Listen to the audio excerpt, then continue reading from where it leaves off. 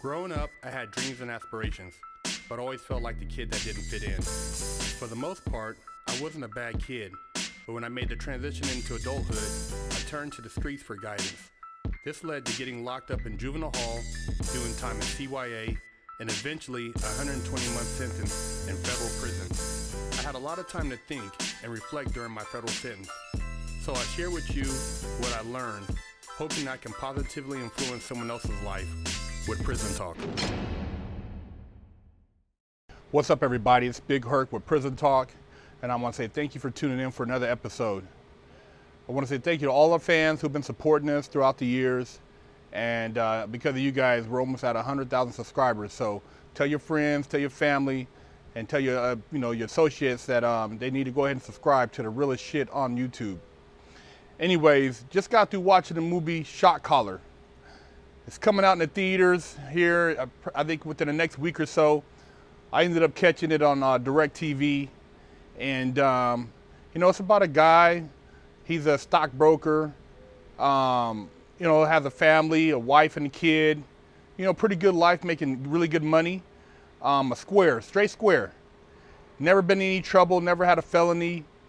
He gets into uh, an accident leaving a restaurant with his wife and their two friends.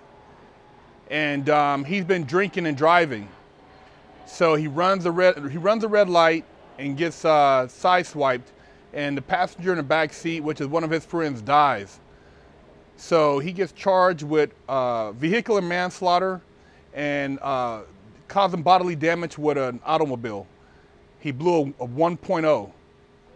So he pleads out to um, I believe it's five, no, two years, but he has to do like 18 months off of that.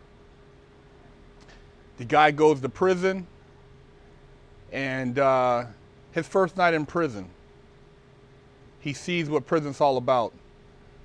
When he walks out, the motherfucking Grey Goose, which is a bus that transports him to the prison, and walks into the dorm where he'll be housed at, it's him and a couple other guys. And if I didn't, if I'd have mentioned to you guys before, this guy's white. So you know, I'm basically telling the movie from a, this this white guy's uh, perspective. And uh, there were other guys. You know, the, the guy that he walked into this uh, the jail with. You know, there was a Mexican guy. There were some black guys, but there was a, a black guy walking with him who was particularly scared to death and um, as soon as he, you know, they, they started talking about fresh fish, they walked into the dorm. Um, you know, you, you, knew something was going to go down. Well, anyways, this guy's first night, you know, while he's uh, trying to sleep, thinking about all the shit, you know, he's going to have to deal with, you know, he sees uh, a bunch of guys jump off the bunk and, you know, they basically attacked this black guy. He got raped in the middle of the night. They took them cheeks. And uh, after he seen that, man, I, I mean, it, it, it, it, turned a screw in his head. And, um, you know, he, he wasn't going to be a victim. So his first day on the yard, the next day, he was walking the yard and uh, he bumped into a black guy. A black guy gave him some problems and he took off on him, you know. And uh, everybody, you know, everybody was watching because everybody watches to see if you're a punk or not. So he went to the hole after that, got out, and um, basically, you know, from there, the, you know, the, um, the Woods approached him and said, you know, hey man, you're gonna roll with us or what's happening? You know, you're not gonna make it out here alone and it's all about numbers. And this is in the state pen, so, you know, it's serious. And, um, you know, the Woods, they, they ride serious up in that pen. They ain't playing no games, you know? And so what, what, what escalated from him beating up, you know, a black guy because he was being uh, disrespected led to him eventually now having to, you know, keister dope, um, you know, go on hits.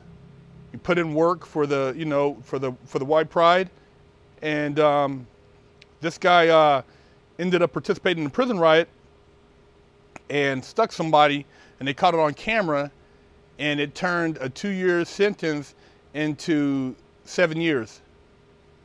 So yeah, he uh, went from you know getting out in a matter of a short time to doing long time. And throughout that time, he basically wrote his family off, man. He he said, um, you know, that was it. And his wife filed for divorce, and he just basically turned, turned his back on him, and, and, and, you know, the gang became his family.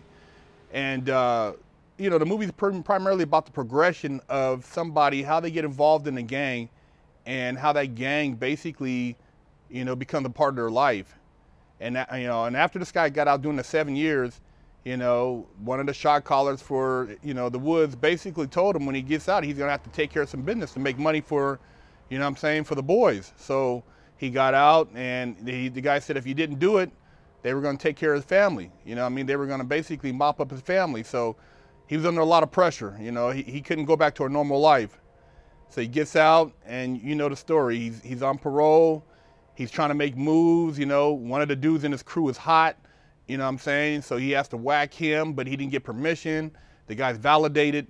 You know, um, a gun deal goes bad, and he ends up somehow, you know, for whatever reason, he tells the ATF and you know who, and the and the police, you know, where the guns, where the swap's going to be, and so they raid up on the spot.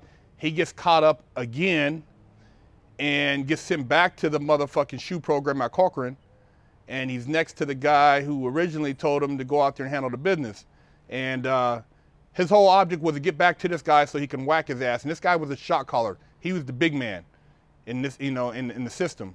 And, um, you know, he ended up killing this guy and he got life without parole. So, you know, this guy, you know, it, it's, it's a sad story. You know, there ain't nothing glamorous about it. Ain't nothing cool about being no motherfucking, um, you know, gangster like that, man. If you really love life, and um, you know, the movie, man, it, it was, it's just, it, it, really, it really lets you know how serious shit can get. So I say that to say, watch yourself, man, and, and watch what you, what you do and who you associate with if you ever do have to go to do time because um, it could put you in some serious shit.